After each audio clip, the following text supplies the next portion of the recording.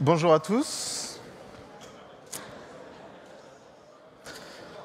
Donc, moi, je m'appelle Grégoire Pinault, je suis développeur pour euh, Blackfire et je travaille aussi sur certains produits Sensio Labs. Et aujourd'hui, je vais essayer de vous parler de l'histoire du composant Workflow.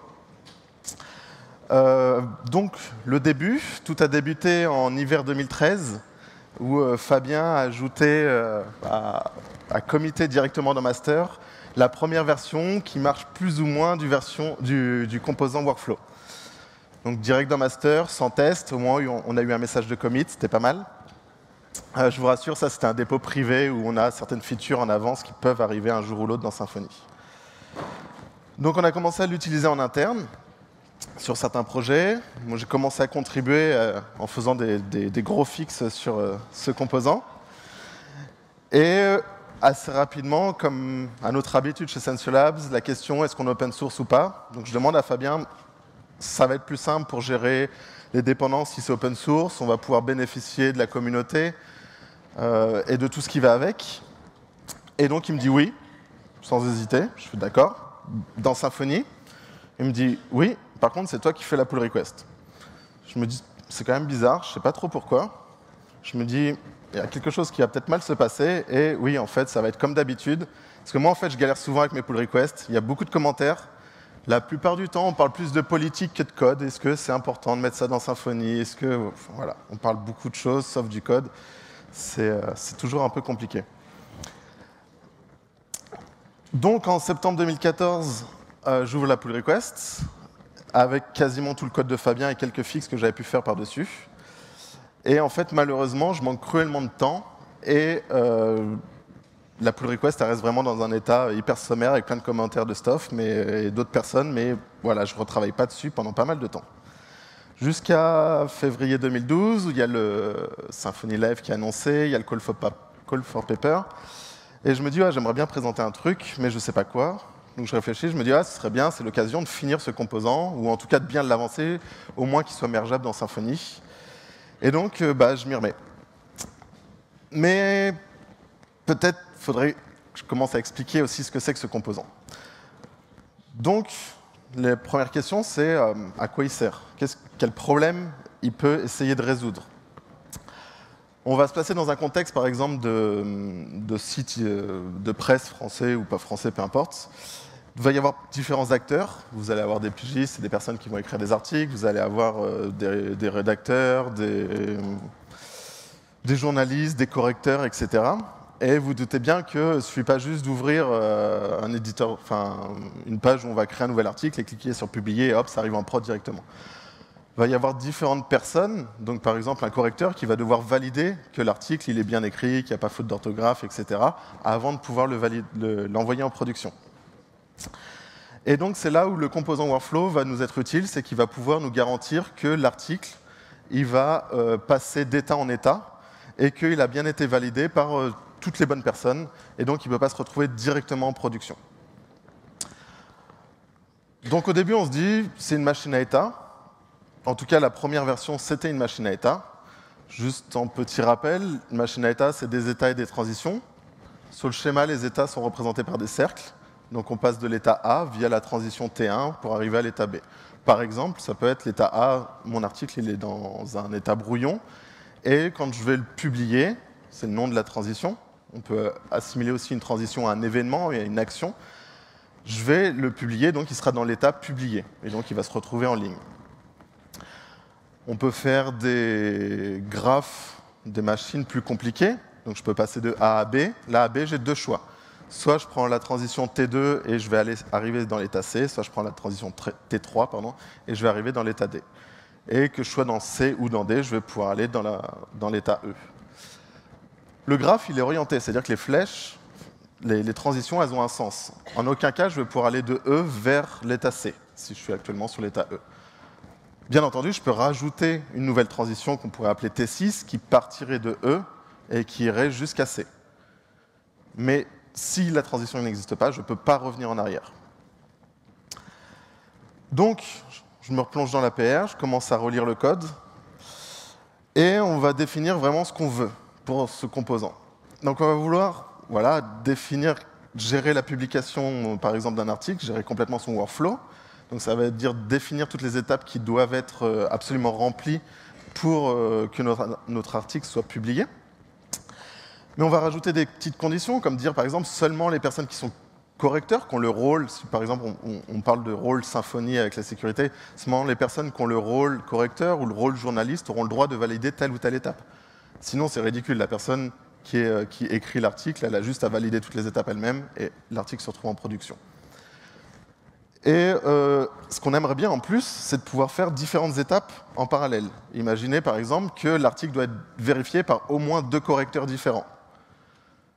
Et ces deux correcteurs différents, peu importe que ce soit la personne A ou la personne B qui valide en premier, du moment que les deux ont validé, on veut enfin voilà, que, ça se passe en parallèle et qu'il n'y ait pas forcément d'ordre dans les actions. Voilà un exemple. On va garder ce même exemple euh, tout le long de la présentation. Donc, tout au début, euh, mon, article est dans un état brouillon. Là, la personne qui l'a écrit va demander une relecture. Et l'article va avoir deux états en même temps. Un premier état qui est je demande une correction orthographique en bas. Et un autre état qui est je demande une relecture par quelqu'un d'autre, un journaliste par exemple. Là, l'un ou l'autre soit le journaliste, soit le correcteur orthographique vont valider l'état. Dans tous les cas, il va falloir que les deux états soient validés. Et une fois qu'on a fait ça, on peut envoyer notre article en production. Donc le premier constat, c'est qu'une machine à état, une machine à état finie, euh, ça ne va pas suffire.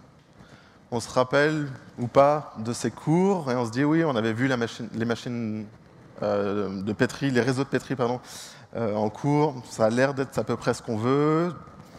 Du coup, on relit de la doc, plein de PDF, plein de cours, des papiers. On regarde ce qui existe déjà dans l'univers. Et euh, au final, on se fait un petit, petit état de l'art. Donc, il y a deux machines à enfin, sur Packagist, il y en a deux qui ressortent un peu plus que les autres. Finish State Machine. Dans tous les cas, on s'est dit que ça n'allait pas convenir les machines à état pour notre besoin. Donc, on ne va pas trop détailler. Ensuite, sur les réseaux de Petri, on en a deux. Euh, la première, elle est très intéressante, elle est vraiment bien faite. Euh, c'est vraiment une très belle modélisation des, réseaux de Petri. À mon goût, il y a un peu trop d'interfaces il y a plein d'interfaces partout, mais passons. Et euh, sinon, il y avait Spolina aussi, qui est un composant workflow. Là, c'est une solution un peu hybride, ils sont basés sur aucun standard. Et du coup, ça, c'était pas très intéressant. Donc, on se dit, il faut migrer le code vers un nouveau modèle qui s'appelle le WorkflowNet. Alors, qu'est-ce que c'est? Le WorkflowNet, en fait, c'est une extension des réseaux de Petri. Donc, c'est la même chose que les réseaux de Petri, mais avec plus de règles, c'est-à-dire plus de contraintes. Et pour ceux qui ne connaissent pas du tout, on va voir après, mais vous pouvez vous dire que ça ressemble grossièrement à, une machine à état, avec plus de fonctionnalités. Je tiens à le préciser tout de suite, l'implémentation actuelle du composant Workflow qui est dans Symfony euh, n'implémente pas toutes les spécifications euh, des réseaux de Petri et donc forcément euh, du WorkflowNet. Euh, pourquoi? Parce qu'en fait, il y a plein de use cases qui ne sont pas forcément applicables, ou en tout cas, on n'a pas vu de use case en PHP, qui ont besoin de toutes les fonctionnalités. Donc voilà un, schéma d'un réseau de Petri ou d'un WorkflowNet, c'est la même chose au final. Euh, les places, donc on n'appelle plus ça des états, on appelle ça des places. Il y a de fortes chances que je dise place, état, de manière l'un ou l'autre, mais au final ça s'appelle vraiment une place. Et maintenant, la transition, vous pouvez remarquer qu'elle est euh, vraiment modélisée. Vous allez vraiment avoir euh, un carré, enfin là parce que c'est modélisé avec un carré, qui apparaît. Alors qu'avant, la transition, c'était vraiment l'arc qui partait euh, d'un état à un autre état. Et là maintenant, on va vraiment avoir la transition qui est entre deux places. Là, on peut avoir aussi des, choses qui sont un peu plus compliquées. Vous allez avoir par exemple différentes places qui vont arriver toutes dans, la transition, et, la transition peut avoir aussi plusieurs sorties. Par contre, contrairement aux, machines à état, ça c'est une partie qu'il faut vraiment bien assimiler, ce qui va se passer, c'est que pour que la transition soit dite euh, activée, c'est-à-dire qu'on puisse la passer, qu'on puisse l'exécuter, il faut absolument que dans toutes les places qui sont en amont, c'est-à-dire avant, notre transition, il faut absolument que notre objet soit dans cet état-là. Donc là, par exemple, si j'ai deux états avant, deux places, hein, si j'ai deux places avant, il faut absolument que mon objet soit dans, ces deux états-là. Le fait d'être dans ces deux états-là s'appelle des tokens au final. Donc les tokens, c'est symbolisé par les petites pastilles noires. Et ça veut dire que, par exemple, mon- mon article, il avait bien un token dans chacune des places. Donc en gros, il avait ces deux états-là, si je simplifie un tout petit peu. Et au moment où je vais exécuter la transition, mes tokens, ils vont être enlevés des places qu'il y avait avant la transition et ils vont être ajoutés aux places qui sont après la transition. Là, dans cet exemple-là, j'ai mis euh, deux places avant, deux places après. Il aurait très bien pu y avoir un nombre totalement différent à gauche et à droite. Il peut y avoir une place avant et 15 places après. Il n'y a pas cette notion de c'est un token, c'est le même qui se retrouve de l'autre côté. C'est juste dire mon article, il était dans tel état et après il se retrouve avec tous ces états-là. Ça fait un peu penser au chat de Schrödinger. On ne sait pas vraiment dans quel état il est. Au final, c'est pas tout à fait vrai. Il faudrait plus voir ça comme de la physique quantique où on se retrouve littéralement dans plein d'états en même temps. Donc le marking, le marking en fait, c'est juste la propriété euh, de votre objet qui va euh, contenir tous les états. Donc basiquement, c'est une collection. Donc dans, cette euh, slide-là, notre article, il est dans deux états en même temps. Il est dans l'état correcteur OK, c'est-à-dire que le correcteur orthographique, il a validé, c'est bon. Et par contre, il est toujours dans l'attente d'une correction des journalistes. C'est les doubles ronds rouges. Donc le marking, c'est juste cette, chose-là. Et grosso modo, c'est ce que vous allez stocker, par exemple, dans votre base de données. Dans votre base de données, vous allez rajouter euh, sur votre euh, article, par exemple, sur votre classe article, vous allez rajouter une propriété marking et qui va contenir une liste. Enfin, dans votre base de données, il y aura une liste d'états. Donc quelques exemples, tout droit, il n'y a rien de très compliqué, on passe de A par la transition T1, on arrive à B, etc. Bien entendu, on peut faire des boucles, c'est-à-dire qu'une fois qu'on arrive à C, bah, si on prend la transition T3, on va revenir automatiquement dans la place A. Après, on peut faire des choses plus intéressantes, donc des branches avec un OU par exemple. Donc là, dès le début, on est dans la place A et on choisit. C'est-à-dire que je ne sais pas pourquoi, mais soit on va prendre la transition 1, soit la transition 2. Donc soit on arrive, si on a pris la transition 1, on va arriver dans la place B. Si on a pris la transition 2, on va arriver dans la place C. Et ensuite, on peut continuer comme ça jusqu'à temps d'arriver dans la place D. On va pouvoir faire des et, ou façon de dire, des tâches en parallèle. C'est ce qu'on a vu euh, juste avec l'exemple d'avant. Donc là, dès qu'on va avoir pris la transition T1, vous voyez que les, flèches divergent après la transition T1. C'est-à-dire qu'il y a deux sorties la transition T1. Et donc, on va se retrouver automatiquement avec l'état B et C. Et là, on va pouvoir valider de manière euh, asynchrone, soit T2, soit T3, soit l'inverse, peu importe. Mais ce qui, va, ce qui va se passer, c'est que pour valider la transition T4, il faudra absolument que notre objet ait l'état soit dans l'état D et dans l'état E. Ça, c'est très important. C'est-à-dire que je ne pourrais pas être, par exemple, dans l'état B et E, je pourrais absolument pas le publier. Donc c'est ça, en fait, qui va nous garantir... Enfin, c'est ça, par exemple, qu'on va... euh, qu'un workflow net va amener par rapport à une machine à état. Cette possibilité de, garantir qu'on a besoin d'avoir plusieurs états en même temps pour pouvoir passer une transition. Après, on peut faire des trucs hyper compliqués. Euh, au passage. J'ai fait n'importe quoi. hein. C'était juste histoire de faire un exemple où il y avait plein de, flèches partout. Mais là, par exemple, on peut voir que ce truc-là, il ressemble à rien parce qu'il y a des chemins qui, dans tous les cas, ne pourront pas marche- marcher. Si par exemple, on part en bas, euh, ouais, c'est écrit super petit en fait, désolé. Euh, mais si on part en bas, vous voyez qu'en fait, on va arriver dans le rond qui est là-bas. Et pour arriver dans le rond qui est là, euh, le rond E, presque à la fin, le troisième en partant de la fin en bas, bah, par exemple, si on veut aller prendre la transition qui est au-dessus, il va nous falloir au- automatiquement la place I qui est juste au-dessus. Et ça, on ne pourra pas l'avoir parce qu'on est parti dans un chemin. Donc, il faut bien réfléchir quand on fait son schéma à pas se créer des points où, dans tous les cas, on ne pourra pas accéder à des transitions parce qu'on sera bloqué par autre chose. Donc, du coup, on implémente. Au final, le diff est assez gros par rapport à la première version qu'on avait. C'est surtout qu'il y a beaucoup de tests maintenant.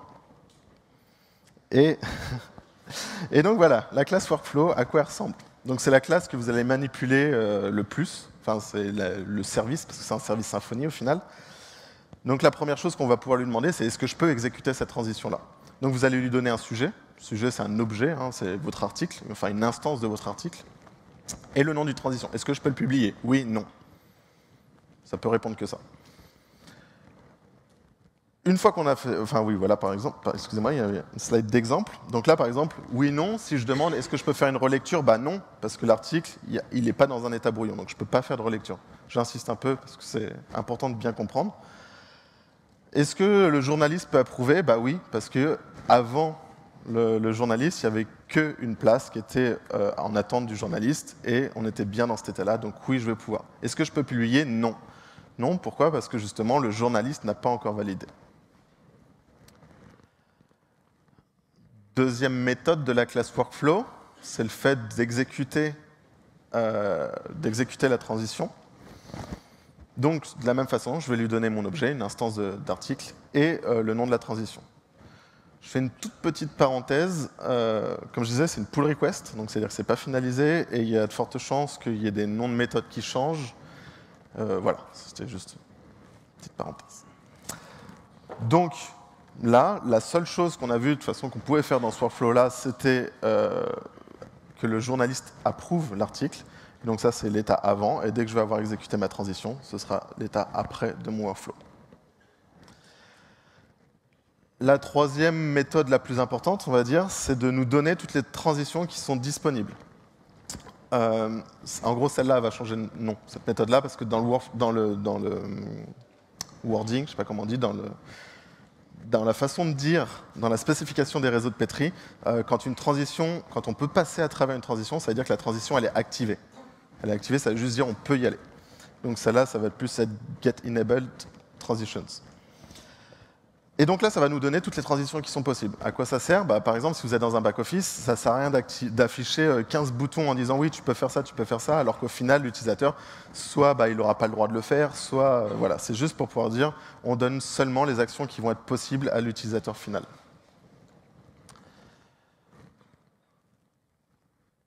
Pour que notre workflow fonctionne, il va falloir lui décrire comment il fonctionne. Pour que notre classe workflow fonctionne, on va lui donner une définition. La définition, c'est voilà, c'est ça la représentation de mon workflow. Donc on instancie une définition et là on va lui ajouter les places. Pour l'instant, vous voyez les places, euh, je les ai mis sur le côté, elles sont absolument pas branchées entre elles parce qu'on ne sait pas comment les brancher. Et là on va ajouter une transition. Donc transition, le premier argument, ça va être le nom de votre transition. Donc là par exemple, demande de relecture.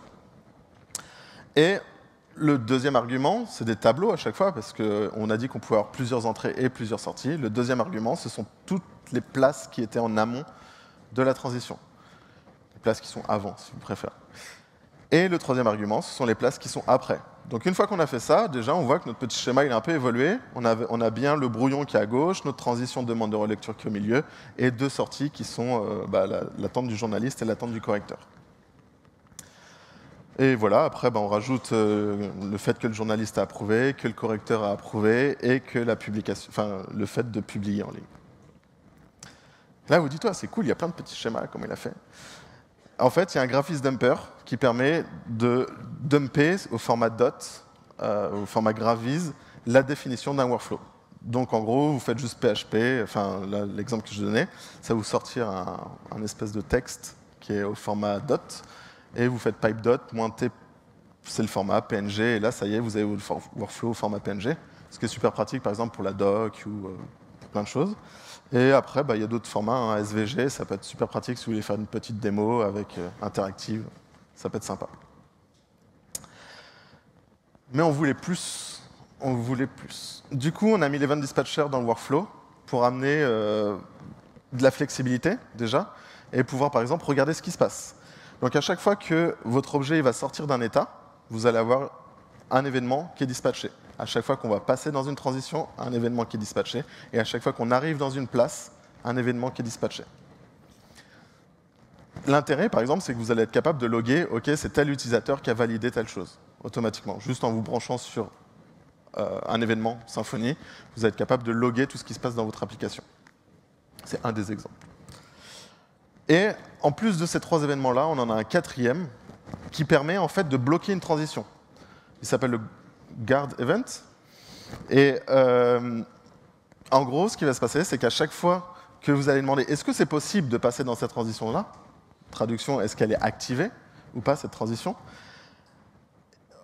si jamais il y a des places, toutes les conditions en termes réseau de Petri sont euh, remplies, c'est-à-dire qu'il y a bien l'objet est dans euh, l'objet est bien dans tous les états qu'il y avait dans, toutes les places avant. Il y a un événement qui est lancé et à tout moment vous allez pouvoir bloquer, dire non, moi sur des règles métiers pures et dures en PHP, je refuse de, de, de, faire en sorte, enfin je désactive la transition. Un exemple typique, c'est vous dire, bah voilà, je vais brancher ça avec le composant de sécurité de Symfony, et si jamais la personne n'a pas le rôle pour faire cette transition-là, je la bloque. Et donc, on va voir maintenant comment ça se passe dans Symfony. Avant toute chose, c'est toujours mieux de commencer par faire ce que je disais tout à l'heure, faire son schéma à la main pour bien voir ce qui se passe et faire des petites simulations mentales en se disant ok, je suis dans tel état, est-ce que je peux aller dans tel état, est-ce que je vais me retrouver bloqué? Une fois qu'on a fait ça, de la configuration en YML ou en XML, euh, enfin voilà, dans le config.yml ou en pur PHP, peu importe. Euh, donc on a une nouvelle clé qui s'appelle Workflows sous euh, la clé framework. Et donc là, vous allez ajouter autant de, framework, que vous voulez.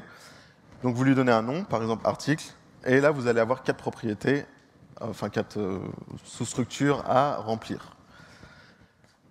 On va les détailler. Donc la première, c'est support. C'est, euh, vous allez dire quel type d'objet ce workflow va supporter. L'intérêt, c'est que par exemple, euh, dans Twig, on verra après, il y a une fonction, une fonction Twig qui permet de dire est-ce que mon objet il peut faire ça? Ça évite à chaque fois de dire c'est pour tel type de workflow. C'est plus simple. La deuxième chose, c'est les places. Donc euh, il n'y a rien de nouveau, c'est juste un mapping avec euh, la version PHP. Hein. Pour les transitions, exactement la même chose, à part que la transition deux points, là c'est le nom de la transition, et en dessous vous allez mettre euh, bah, les places qui sont avant et les places qui sont après.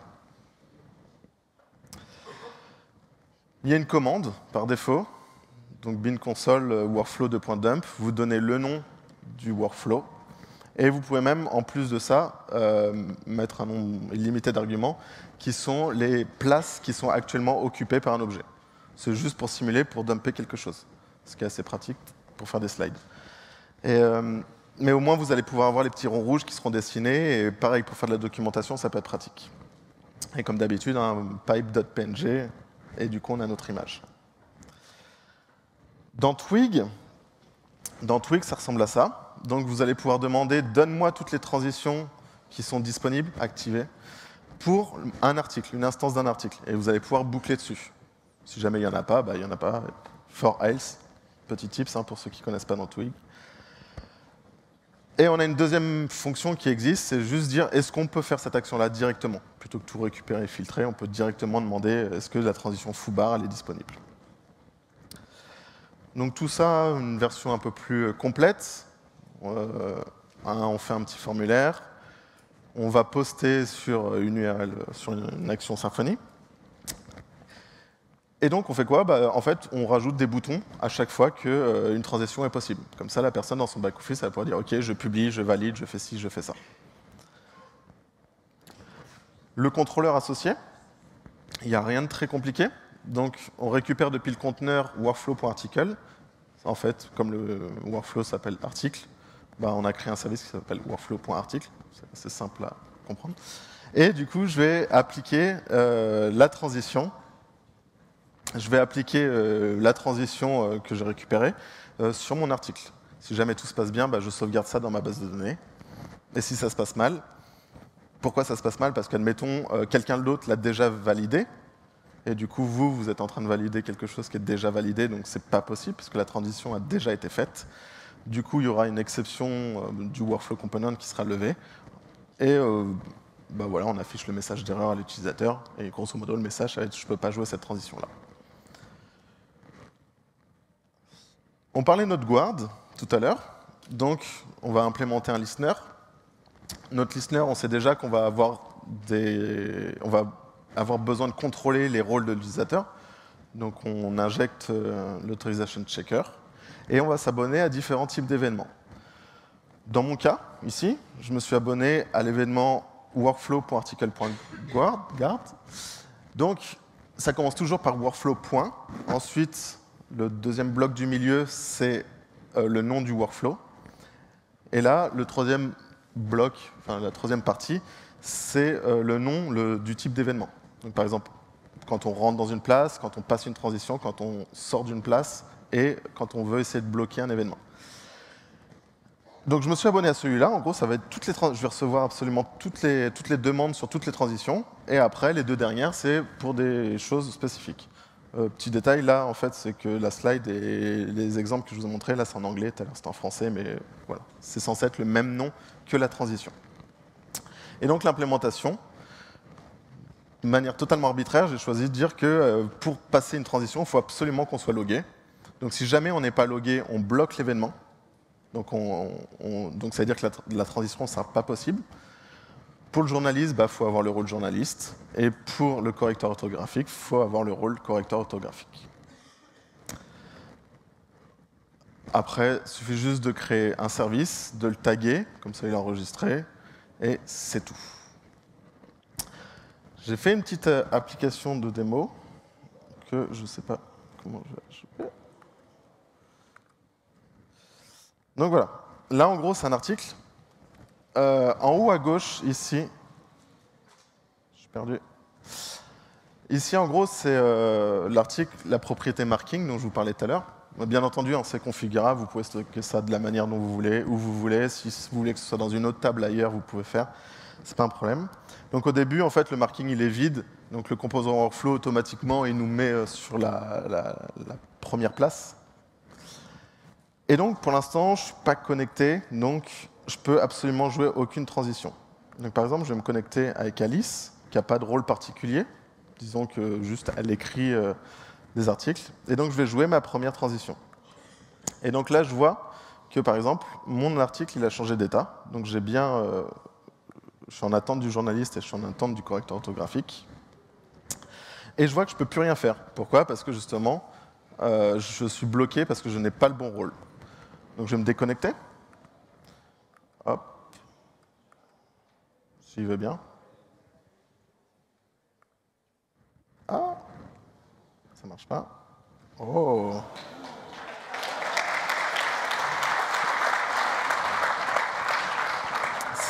C'est pas moi, c'est Roku. J'ai une version locale. Hop. Ah, ça marche. Donc je la refais. Ah, c'est l'effet des mots. Donc Alice, elle a validé, elle se déconnecte. S, on se reconnecte en tant que, par exemple, correcteur orthographique. Donc lui, la seule chose qu'il peut faire, c'est ça, corriger, enfin approuver que l'écriture est bonne. On se déconnecte, on se reconnecte, par exemple, en tant que journaliste. On valide que l'article est bon. Et du coup, là, tout le monde peut valider et mettre en production. Et donc voilà, notre article est en ligne. Vous avez vu qu'on a été obligé de respecter un workflow bien précis seulement certaines personnes ont eu le droit de faire certaines étapes. C'était ce qu'on voulait initialement. Et hop.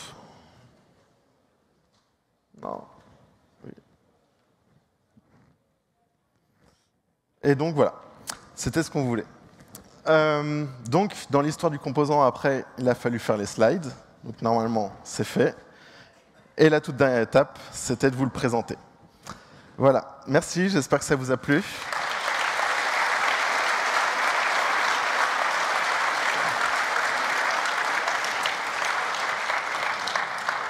Si vous avez des questions, c'est le moment. Euh, au niveau du stockage, euh, la manière dont c'est stocké, tu as parlé d'une propriété marking dans laquelle tu mettais le nom des places. Ouais. Mais euh, tu as prévu quoi d'autre en fait pour le stockage? Parce que ça dépend des types d'objets Eh ben en fait, c'est bien que tu poses la question, merci. Euh, je ne voulais pas en parler parce que ça complexifie un petit peu le talk. Mais euh, grosso modo, en fait, tu, vas avoir le composant workflow qui va être euh, standalone. Tu vas avoir ton objet métier qui est à toi. Et en fait, au milieu, il y a ce qu'on appelle le marking store. C'est comment je stocke en gros le marking pour cet objet-là. C'est une interface à implémenter. Tu as deux méthodes, getMarking et setMarking. Donc en gros, donne-moi le marking pour tel type d'objet n'importe quoi et mets-moi le marking. Et donc, tu as cette interface-là implémentée par défaut, il y en a une, enfin deux, mais on va dire une, qui est implémentée dans Symfony, ça utilise le Property Access Component. Donc, c'est-à-dire que tu ranges ça dans n'importe quel type de propriété du moment où tu as un getter, un setter ou que tu les publics. Et si jamais tu as envie d'implémenter quelque chose de custom à toi, euh, par exemple le stocker dans un web service, bah, tu as juste cette euh, interface-là implémentée et tu la références dans le, dans le YML, dans le config.yml. Par exemple, si c'est un service, si toi tu fais quelque chose qui n'est pas supporté, qui est à toi, bah, tu crées ton service et tu donnes, tu dis euh, marking store de points, service de points, et tu donnes l'ID de ton service, et du coup tu fais ce que tu veux. Ok, merci. Ouais, par là-bas.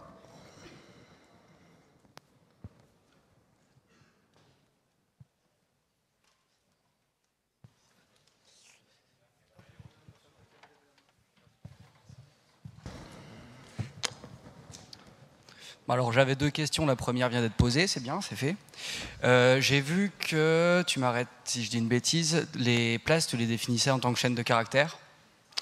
Euh, c'est voulu ou, enfin je prends l'exemple de, de, Finite par exemple, où tu peux attacher des propriétés entre autres sur les états, euh, en ayant des, objets métiers en tant qu'état. Qu'est-ce que tu as la possibilité de faire ça ou pas? Non. Mais si tu me donnes un use case, on peut, on peut en parler. Mais si par exemple ton idée c'est de dire euh, mon workflow complètement je le stocke en base de données, c'est ça par exemple? Enfin la définition je le stocke en base de données? Ou pas spécialement Non, euh, l'idée n'est pas là. C'est par exemple sur un état euh, brouillon, tu vas vouloir que ton article soit interdit d'accès public. Donc tu vas avoir une propriété publique à faux sur ton état brouillon par exemple. D'accord, donc non ça c'est pas fait pour le moment. Ça peut être fait à tout moment. Enfin, là, je trouve ça assez intéressant comme idée. Et, euh, mais pour l'instant, c'est pas fait. Mais je t'invite à laisser un petit commentaire dans la pull request en disant ça, ton use case en même temps. Et, euh, et puis voilà. Mais c'est pas fait. Ok, merci. Il y avait une autre question à côté, je crois.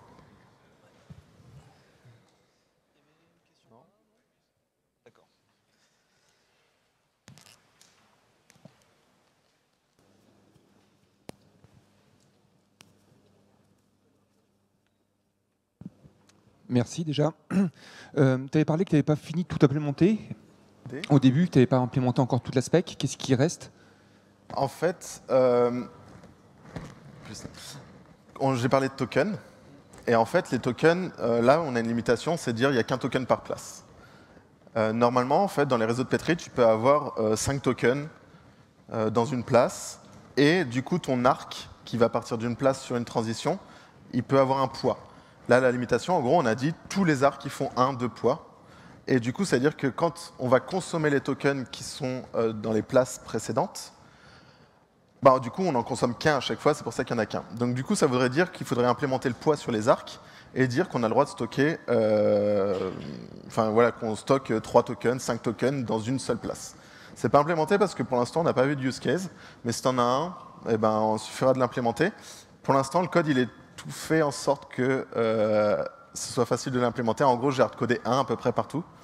Et j'utilise pas la valeur en fait. C'est juste euh, voilà. Et dans la base de données, c'est déjà en stockant, euh, en stockant le, token dans cette place-là, ça vaut 1. Donc c'est-à-dire que si jamais, par exemple, le composant est émergé, que tu commences déjà à l'utiliser, et qu'on se dit plus tard, ok, on passe avec des poids, bah théoriquement, tu n'auras rien à faire de ton côté, juste ça marchera. Et une petite idée sur le, le, merge euh, de l'APR, sur le timing? Dans tous les cas, ce ne sera pas en 3.1 parce que c'est trop tard, parce que c'est frisé depuis euh, la semaine dernière.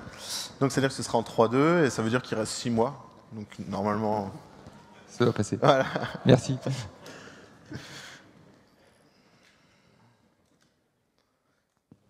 Mais dans tous les cas, vu que, euh, enfin, je rebondis juste, le composant en tant que tel, euh, dès qu'il sera mergé, s'il est mergé, mais il sera mergé, j'en sais rien, euh, il y aura sûrement un subtree split dessus. Et donc, du coup, et comme lui, ses dépendances à lui, en fait, euh, il n'en a pas. C'est optionnel. Et du coup, ça veut dire que ce sera facile même d'utiliser le composant workflow en 3.1, enfin 3.2.dev, enfin façon de parler, avec même un Symfony 2.0. Quoi. Donc après, par contre, tu n'auras pas le bundle, donc tu n'auras pas tous les branchements qui se font automatiquement. Mais euh, si jamais ça se passe comme ça, euh, je ferai peut-être un bundle euh, à côté à durée de vie limitée et dans six mois on le fout la poubelle. Quoi.